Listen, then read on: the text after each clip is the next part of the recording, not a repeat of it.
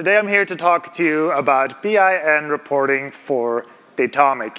Um, this is roughly what, uh, what we have in store. Going to give a little bit of an introduction um, because this is a, a, project we did with Gaiwan. I think it makes sense to, to give you a little bit of background of who we are um, and a bit of story time about how this thing came to be, how we got started. Uh, we'll go into the problem statement, what is it exactly we're trying to solve, and then we'll go over various projects and approaches of uh, things we try, some things that worked, something that didn't work, uh, but we'll see when we get there. So uh, who are we? We are Gaiwan. You might have seen our table and our banner outside. Um, so we're a, a, Clojure consultancy, been around since 2019. Uh, we're fully remote, globally distributed, um, and basically, like I think you know the best way to summarize it, my co-CEO said told me last week, like I'm seeing now what you're trying to do with Gaiwan. It's a high bar for quality combined with doing well by people. Um, that's really what it comes down to. People come to us because we're very familiar with the Clojure ecosystem, you know, and we help them make the best of that. Um, this is our team, or most of our team. Uh, so that's me at the top there. I'm in Belgium now, no longer in Berlin. Uh, Alice is here with me today. Uh, Joshua's down in Miami. Bettina's my co-CEO in Berlin. Uh, Lawrence is in Taipei. He did a lot of the work that we'll be talking about today. Then we have June in the Philippines doing a lot of back office stuff. And then uh, Ariel, our junior in Tel Aviv, and Mitesh in, uh, in Mumbai, India. And then we have some com someone coming on in Brazil next week. So truly a, a global team. Um, these are some of our past and present clients. Uh, most of them are, are still clients today. Uh, there's uh, the only ones that are here today, I think, are two guys from Open, uh, Justin and Andrew. Uh, so you can talk to them to see what it's like to work with us. Uh, well, today we'll be talking about 11 and some of the stuff we did for them. IT Revolution, the company of Gene Kim. Gene was supposed to be here today, he had a deadline for a book, couldn't make it. But instead he sent me this quote. It's a little small, but it has been absolutely fantastic working with the Gaiwan team since 2020. We needed someone to build mission critical capabilities that really matter to us, including an online conference capability, video library, video editing tools. I recommend them without any reservation. Uh, and so he, he was a speaker here in 2019. You might know him from the Phoenix project or the Unicorn project. Uh, and he's a great guy to work with. We're very happy to have them as, a, as our client. Now, Gaiwan hasn't been around that long, but more people might recognize the name Lambda Island. Um, so I did this for a number of years, creating these short tutorial videos about various aspects of, of the Clojure ecosystem. Um, and a few years ago, we made, decided to make them free. So lambdaisland.com, you can find them there. Uh, and a lot of this stuff, we don't really make new ones, but a lot of this stuff hasn't really aged. You know, transducers, the basics of Datomic, uh, even reagent, you know, these things are, are pretty much timeless. So um, now, uh, when I was doing this, I started creating open source libraries and decided to use the same name for, for those. And so you might uh, actually know us uh, these days even more from, from our open source work. Uh, best known is Kaocha, uh, the test runner.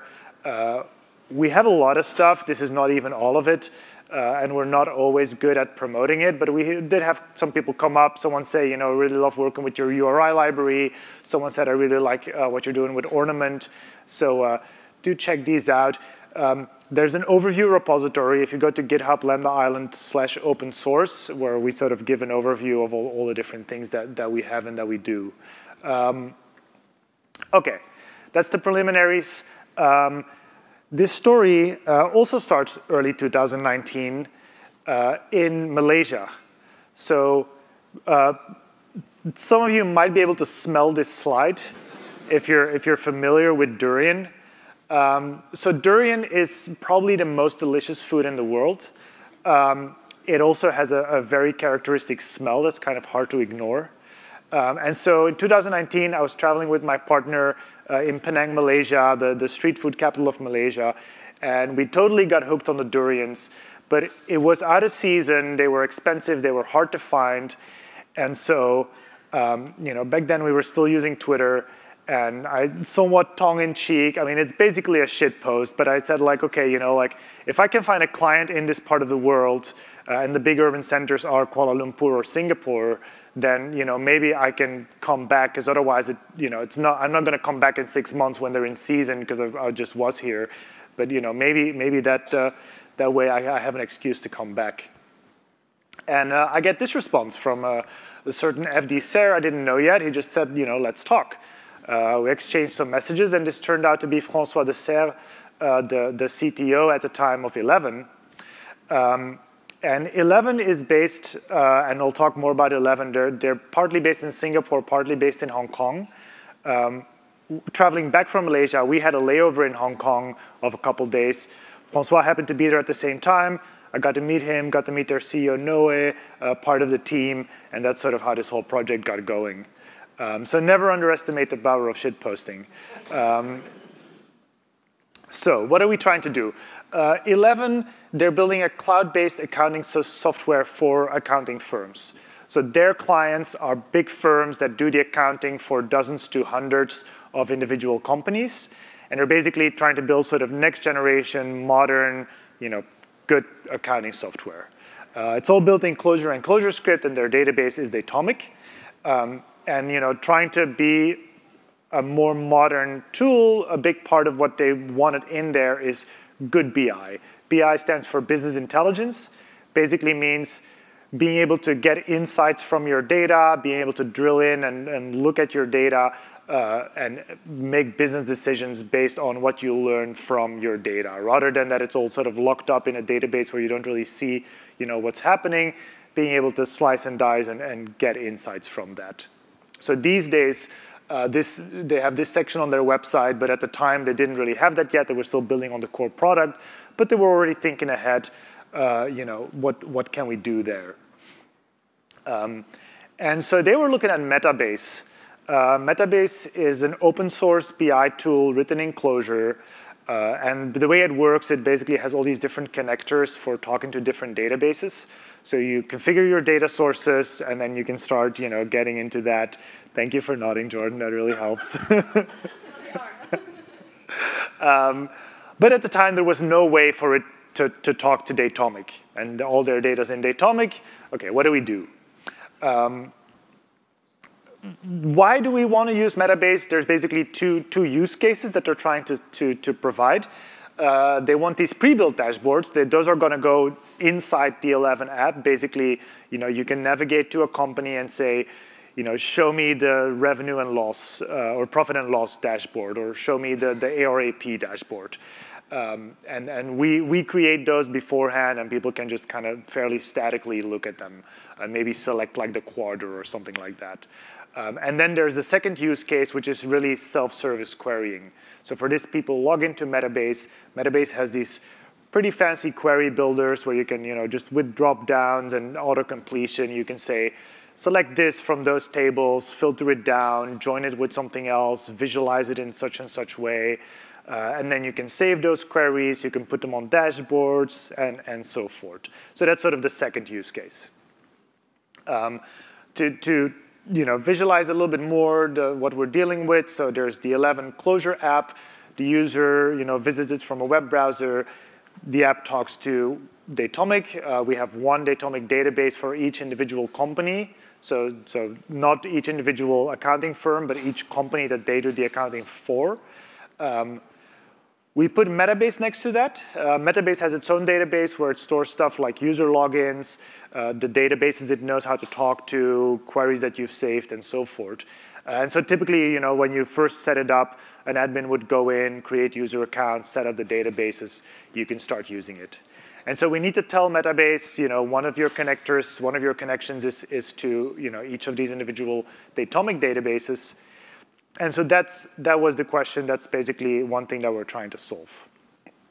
If this was Postgres, it would have been easy, or basically any common database, you know, could be Google BigQuery, could be, you can even, I think, like hook it up to a Google Sheets or something, like all kinds of stuff, but just, just at the time, not Datomic.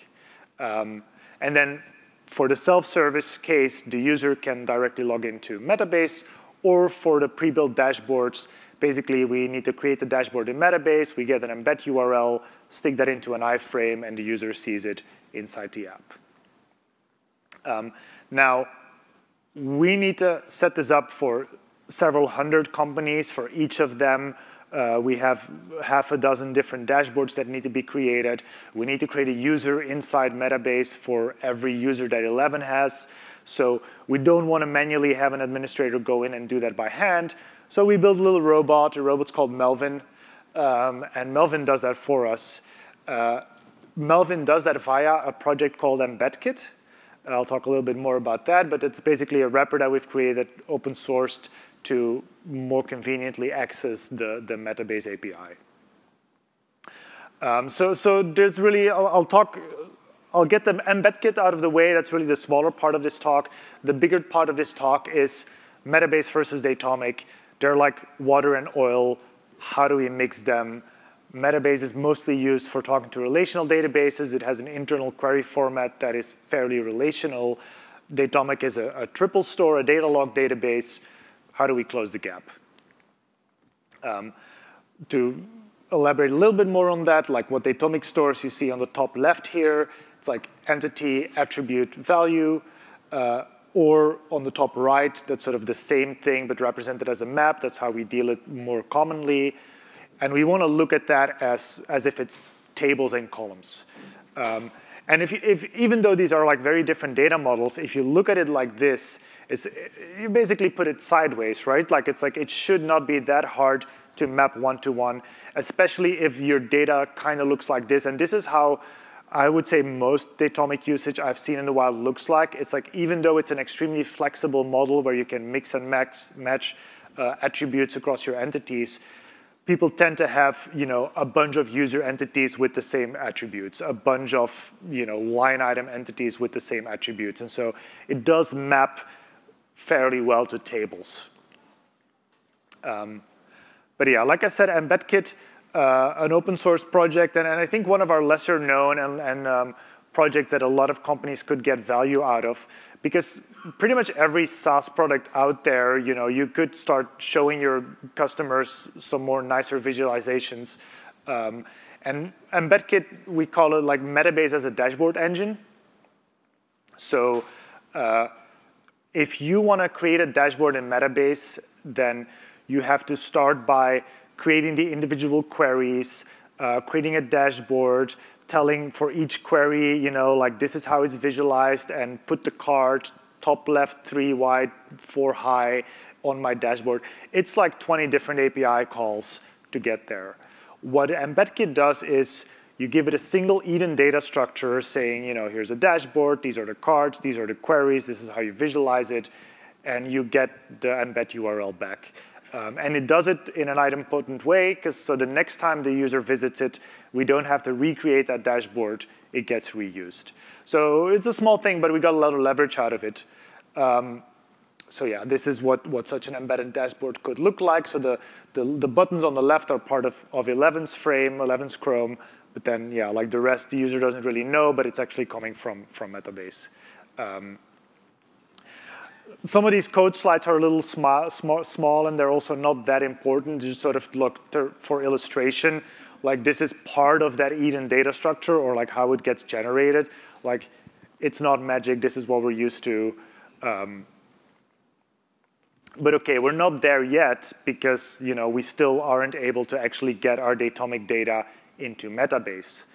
Um, and so, like I said, Metabase has this kind of driver architecture. You can build a third-party driver for a database. You stick it in a jar, you put it in a plugins folder, and Metabase will find that, load that. You can now create a connection to that database. And so when I talked to, to 11 uh, the first time in Hong Kong, they said, okay, can you, you know, start figuring out if that would be doable, uh, create a POC, proof of concept and, and see what we can do with that. Um, and so I did. Uh, they were uh, graceful enough to, to fund this and, and let us make it open source. Um, so uh, creating a Metabase driver is implementing a bunch of meta, meta uh, multi-methods. Uh, basically, it's saying, here's the details of the database connection. Tell me which tables there are. Here's a table. Tell me which columns there are Here's an MBQL query, which I'll show, which is just an, an EDN data structure for a Metabase query. Uh, give me back a native query, so that means like an SQL, or in our case, a Datalog string. And then here's a native query, give me back the results. There's a few more, but that's, that's basically it. The, those last two are split because also in the Metabase UI, you have the choice of using their query builder or writing your own native query. And so this, is, this was actually really cool. Like once we got this thing going, it actually became this really nice like Datomic client. We could just go in there and like write a Datalog query and see the results and visualize it. Oh, that was kind of fun. Um, this is what MBQL looks like. I'm just showing this to say that like even though it looks nothing like SQL, actually it's, it's basically SQL. It's like, you know, from this table, select those fields, filter by this thing. Uh, the numbers refer to IDs in Metabase's database. You have to resolve those, and, but yeah. We generate something like this. It's a bit bulky. It's Datalog, like not exactly how you would write it. We have some rules about how we generate those, those logic variables and so forth. Um, but yeah, so we, we transform one into the other. Um, mostly that was not that hard, but there's a few subtleties where Datalog has different semantics than SQL. So even though these queries superficially look very similar, the Datalog one, when you say, you know, give me the, the user emails, you'll only get results back of entities that have a user email. Whereas in the SQL one, you might have entries in your users table where there's an ID, but there's no email, and so you get nulls back, but you still get the IDs back. And so we had to kind of emulate that behavior. That's why you see that OR join at the bottom. Uh, some hacks we found out. There's some good documentation. Like I wrote a lot of ADRs while doing this project. So even though we kind of archived the project, I think it's still interesting stuff that people could look at, sort of how we how we solve these things. Um, one cool thing, the fact that we did it ourselves, that we could sort of tweak it to our own use case, we, we did this EDN configuration where you could say, oh, you know, on a, on a journal entry line, also pretend that there's a fiscal year field on there, even though there's not, and to populate it, do a resolution via three other foreign keys, lookups, you know, these kind of things. Um, was quite cool, quite powerful. Um, so, you know, worked reasonably well. We were happy. Performance was okay. Uh, was great to have, you know, full control. Uh, was easy to add the features we needed. So we started rolling with it. Uh, and then the next version of Metabase comes out and it breaks. Uh, and like in no small way, like the MBQL syntax had significantly changed. It was basically, okay, you know, like, do we do a rewrite? Um, and so we, we decided to punt on that, stick with the older version of Metabase for a while. Uh, and this, this has been a little bit of a theme working with Metabase, that it seems they haven't fully internalized sort of the, the Clojure culture of not, not breaking your downstream consumers. Um, we've also noticed the same thing in their, in their HTTP API.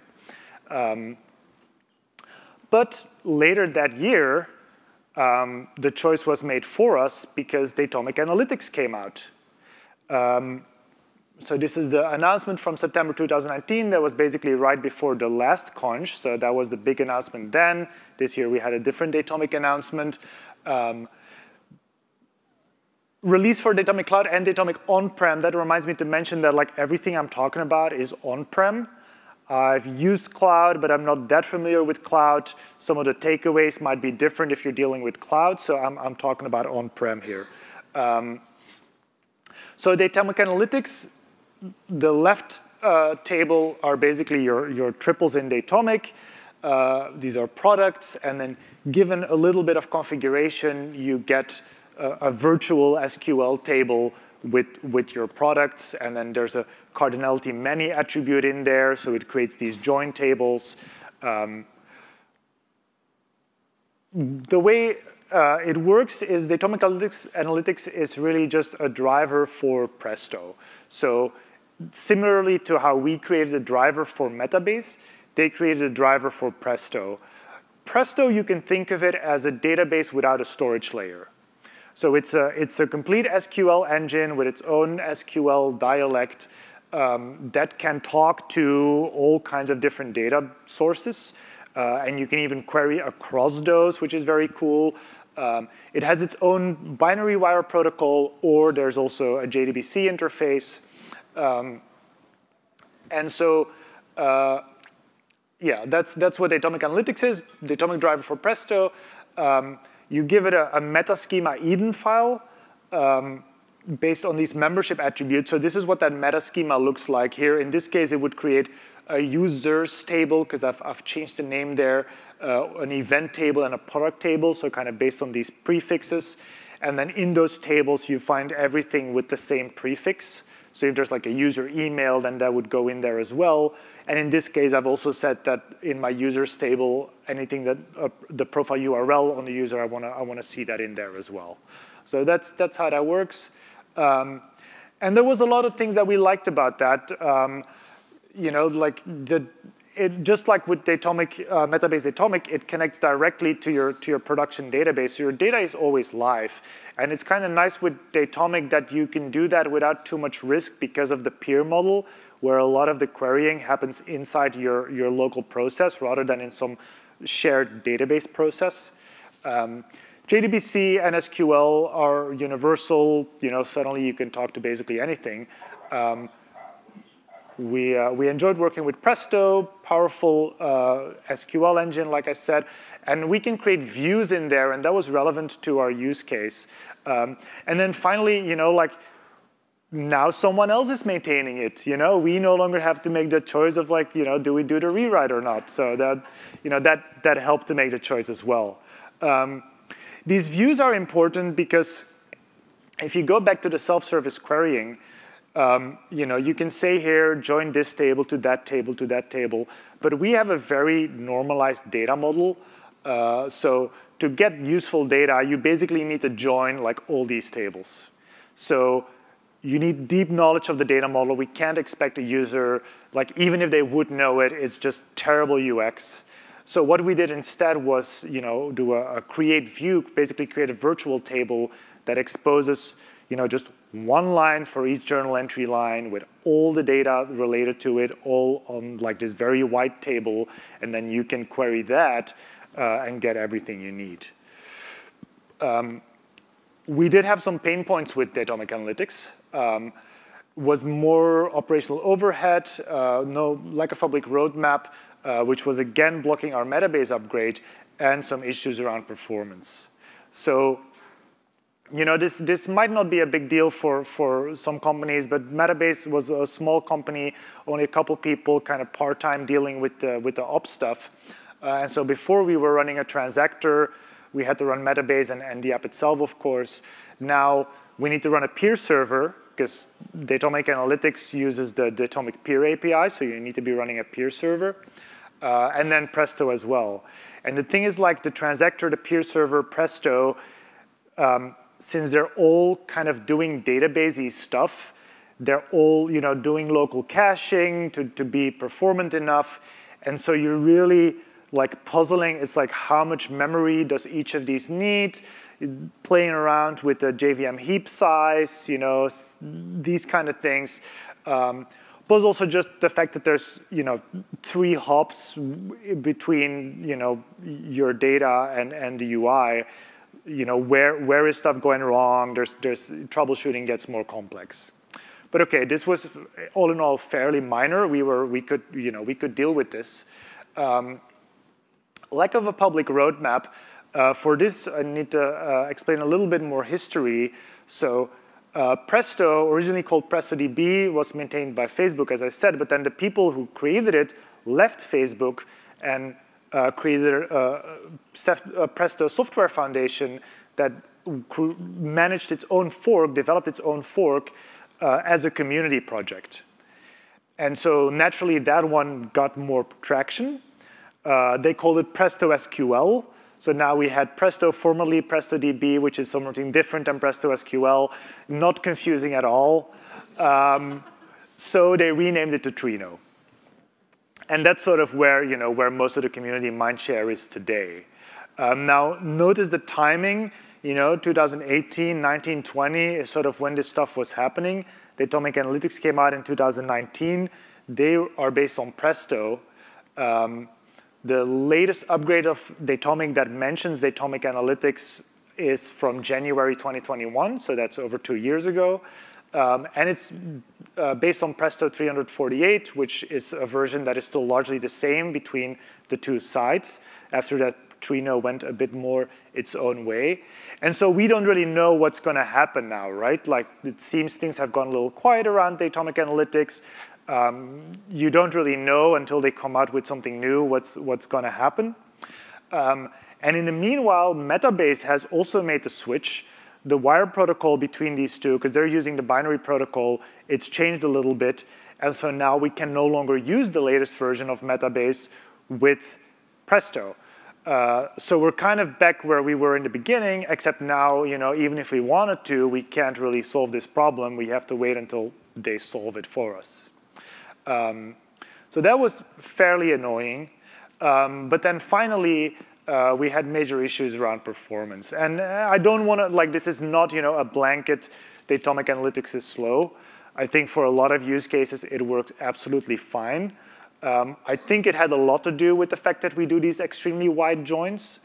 Uh, and, and, you know, this is all fairly black box, so we can only assume. But my understanding is that basically Presto needs to query all these individual tables and then join them at the Presto level. It doesn't really know what storage looks like, what indexes look like. It can't really optimize that. And so our Presto, our, once we started moving like past you know, toy-sized data, our queries started taking minutes, started timing out. Uh, so this was a real problem. This was a blocker. And so we had to take a step back. Um, and uh, yeah, so yeah, again, talking about these wide views, uh, we had to take a step back and see, okay, what, what are we going to do about this? Um, and that's when we, we came up with Plenish. Uh, it's a pretty simple idea. Basically, uh, Datomic provides a transaction log. Uh, everything's in there. Let's just take transaction by transaction and use that to keep uh, another relational database, in our case Postgres, up to date. Um, we took some ideas from Datomic Analytics around configuration. Um, and uh, yeah, created that. It, we've kept it open, uh, closed source until now, but we've, we've open sourced it uh, just before the conference. Um, so uh, if you have you know, similar needs, if you want to try it out, uh, do, do check it out and, and maybe get in touch if you have any questions about it. Um, Datomic transactions contain both schema changes and data changes. Uh, and so we basically do the same thing. So in uh, your Postgres, we'll create a transactions table. We'll also create an idents table so that you can map uh, numbers to idents if you do use them for enums or things like that. Uh, and then, and that way we, we can always see what's the latest transaction that we've processed. Uh, each datomic transaction gets wrapped into an SQL start and commit so that we never commit half a transaction, so we know exactly like where we are in the in the sync process and can pick that back up. And then as as we see that the schema evolves, we also evolve the schema in uh, in Postgres. Uh, we use the same idea of the membership attributes, um, but in our case, instead of looking at the prefix, we basically say, uh, okay, this entity contains the membership attribute, so it's part of the table. What other attributes does this entity have at this time? And we create columns for, for all of those if they don't exist yet. Um, so, and, and you know, it's a, it's a trade-off. Um, we do lose some of the benefits that we had today, uh, that we had before.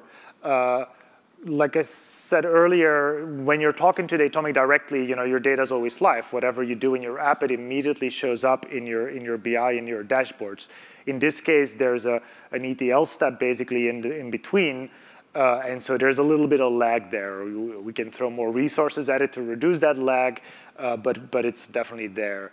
Um, there's also a bit more orchestration needed. So before we could just, you know, we hook into the database and the data is there. Now we have this loop running somewhere that needs to go over all the individual databases, see how far behind we are, process the new transactions. There's a, bit more stuff going on. But you know, good news is uh, we can upgrade to the latest Metabase and, and stay up to date. And uh, performance has been great. We're, we're only using Postgres, which isn't necessarily an analytics database. Uh, so, so in the database world, they, they generally make a distinction between OLTP, which is online transaction processing, which is what your, your application does as you, you know, make changes to your data one by one. These changes get transacted. And there's OLAP or OLAP, which is your analytics processing, which are very different kind of workloads. Uh, and so for this, you typically use uh, column stores that, that rather than storing your data row by row, store it column by column, can more efficiently do analytical queries that way. Um, but we're not particularly doing like big data. We're at best doing awkward sized data. Uh, Postgres is a, is a fantastic, you know, all-around database that we were familiar with, and that, that you know, for, for most use cases has, has more than adequate performance. So we've been running with that. Um, like I said, it would be fairly easy to, adopt, to uh, uh adapt Plenish to work with other databases. It's, we just used JDBC uh, in the end. There might be some differences in, in SQL dialect and in, in, uh, in data types because we had to map the, primitive the primitive datomic data types to equivalent Postgres data types. But you know, if you wanted to use it to go to, to uh, what is it uh, people use these days, Snowflake or, or whatever, like you can, you can do that. Um, this is what it looks like using Plenish. It's just a library. You need to use it in your application. You connect to Datomic. You connect to Postgres. You give it a meta schema. You say sync. This is the, the high-level API. There's a more low-level API where you have a bit more control if you want to specifically you know, deal with uh, the, what this does is go to Postgres, look at that transactions table, say what's the latest we have, now give me the transaction log from Postgres of everything we don't have yet, and start, start processing that. Um, yeah, and that's it. Uh, I ran a little faster than, uh, than during my test runs. Uh, so I wasn't expecting to have time for questions, but maybe, yeah, let's maybe do a couple questions. Uh,